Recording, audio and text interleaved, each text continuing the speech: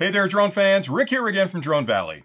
Today's clip is another Mavic Mini quick tip where I walk you through the steps needed to change out a defective prop. Now you might already be thinking, my gosh Rick, that seems like such a simple thing to do. Why are you putting a clip together? Don't I just pull the screws off, pop the prop on and tighten up the screws? And I guess that's kind of true, but there are two critical steps that you need to know about and pay attention to to make sure those props are on there correctly and they're down tight because the props are a single point of failure, which means if you get it up in the sky and you lose a prop, that little Mavic Mini is going to come down pretty quickly. So super important that you get the props on correctly. Now I'm going to walk you through through the process. It takes a couple of minutes to change out the props, not a big deal. And if you're familiar with drones in the past that DJI's released, they used to have the push and twist kind of props that came off, so you didn't really have to deal with sort of taking off a physical prop and putting a new one on. A lot of other quads use those type of props, like the Anafi and a few others, so if you fly those kind of quads, this thing is pretty much second nature to you. But for the rest of the flyers out there that haven't done this before, or new flyers that are flying the Mavic Mini as their first quad, it's super important you understand how to do this. So stay tuned. I'm going to walk you through the steps, then I'll come back with some closing comments.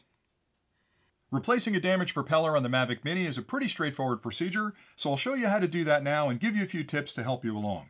The first thing you'll want to do before you even open up the replacement propeller kit is to find an area to do the work. Now I'm lucky today that I'm inside, I've cleared some space on a table, I put down a paper towel, and I'm all ready to go. It's a little bit trickier if you're outside because you may be in a field with tall grass or on a beach with sand, and it's really difficult to do this if you're holding onto the quad and trying to manipulate the screwdriver, you're going to drop stuff and, and lose it forever. So I'd recommend if you're outside, if you have a hard case with you, lay that down on its side, work on the top of that, or if you've driven to a location, maybe take a car mat out of your car, put that on the ground, just so you have an area you can work and everything can stay organized. Now, if you bought the basic kit, you got one of the propeller replacement kits included. If you bought the Flymore combination, you got three of these. I would recommend immediately, if you bought that single kit, to order a bunch of these up because they're inexpensive and they're definitely something you're going to want to have in your kit if you damage a propeller so you can keep flying.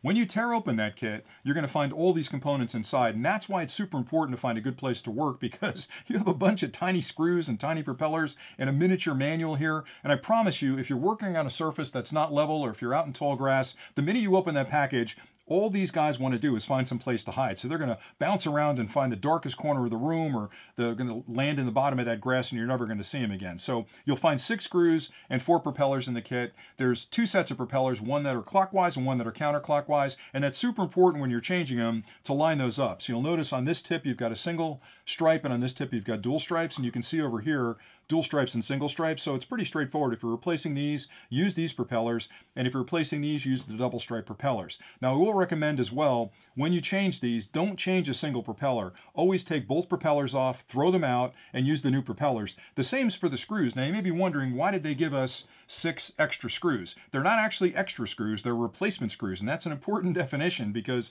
the screws that are in there actually have, you can't see it because it's really tiny, I'll try and blow it up, but there's a blue stripe on the end of this, and what that is, is Loctite. Now Loctite is a compound that with compression of the screw going in, you're going to generate heat. That activates that adhesive down there. So when the screw actually hits the bottom, that Loctite will set and hold the screw in the shaft a lot tighter than just the pressure of the screw in the shaft itself. The problem is you can't reactivate it. So when these were put in, the Loctite set, when you pull them out, you break that bond. So throw out the two screws, throw out the propellers, use new screws and use the two propellers. Also, don't just use one propeller from this kit and save the other one and match it up with a propeller from another kit because there is a balancing that goes on from the factory to make sure these are a match pair and these are a match pair. So just in general, the kit isn't expensive enough.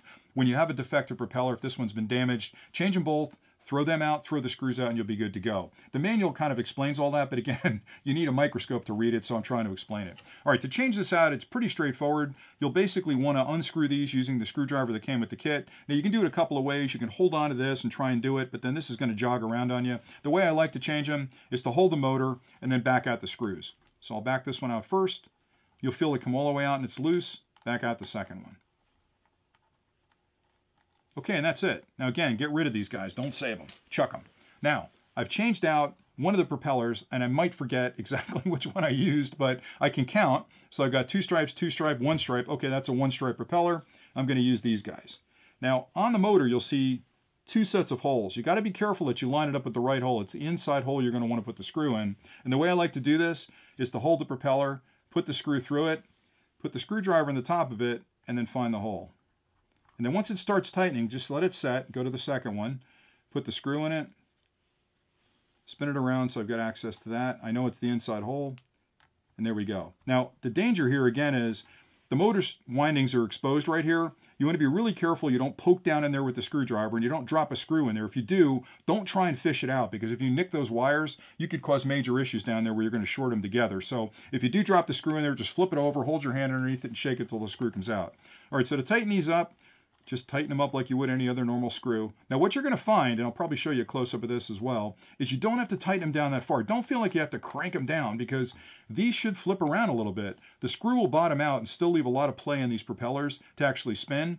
And if you look closely, and again, I'll try and do a blow-up of this, the whole shaft is not the screw. The screws, the threads are only the end of it right here. Most of that shaft is just a solid shaft, and that's because the propeller sits on that part where there's no screw, there's no threads, and the threads are all that's holding it in. So it's a tiny bit, I don't know if that's a 16th or 32 inch of, uh, 32 seconds of an inch to actually hold it down inside there, but that's all it takes. Now that it's changed, you're good to go. One last thing I want to point out is that if for some reason you decide it's a good idea to pull off all four props at the same time, don't do that. But if you do, and you're saying, oh my gosh, which prop goes where, they did you another favor by actually putting a line here on the double stripe props. You can see a little line right there, and there's a line on the arm. So if you ever forget where they go, you can look for the lines and know those are the double props, or I should say the double stripes and the line on the props. So I think they've done everything they can to make it easy to change them out, and it really is just that simple, but keep those tips in mind when you change them. Change both props at the same time, throw the old props out, and use new screws and throw the old screws out, and you'll be good to go. Now, there's nothing wrong with hanging on to these extra screws or a set of props. So save these, put a little Ziploc bag in there, put these in that bag, and you'll be good to go for the next time. But again, don't change just one, change them both. I hope that was helpful in showing you how to change out a broken propeller on your brand new Mavic Mini. And I know the procedure seems pretty simple, because it is, but if you missed that first tip about throwing out the old screws that you pulled off the quad to change out the prop and using the new set of screws because of the Loctite at the tips, over time, that's going to cause you problems. Initially, you may not even notice it because if you took the old screws and tightened them down really well, the props would seem seated on the actual shafts themselves. The challenge is because there's no Loctite down the bottom, you're not getting that binding effect between the screw and the shaft. And over time, the vibrations of the motor, especially up in really windy conditions, are going to slowly work that screw back out of the shaft. And you may not even notice it, but any little play down there at the base of that propeller is going to cause vibration. And that's a problem for the motors, for the stability of the quad. And over time, just based on the physics of it, if it's vibrating vibrating a lot, you're going to get cracks in that propeller base, and you may be up at 200 feet, have that thing crack and a propeller fly off, and the Mavic Mini is going to come down like a rock. So it's a single point of failure. Change them out and you'll be good. Always use the new screws. The second part about knowing a clockwise propeller from a counterclockwise propeller is something that a lot of new flyers are not going to be aware of. And honestly, the manual is microscopic in size. So unless you've got like an electron microscope in your basement, you probably couldn't tell. So I wanted to spend a few minutes just showing you clockwise and counterclockwise indications on the propellers and the quad so you know which prop to use and you won't have a problem using the wrong props on this thing and have having flip over when you try to take off. The last thing I want to talk about quickly is proper maintenance for your propellers. If you fly a lot, you want to make sure before you put your quads down for the day that you inspect your propellers. I always do it every time I'm done for the afternoon. Before I put it back in my case, I'll physically inspect the propellers. I'll look for nicks and dings.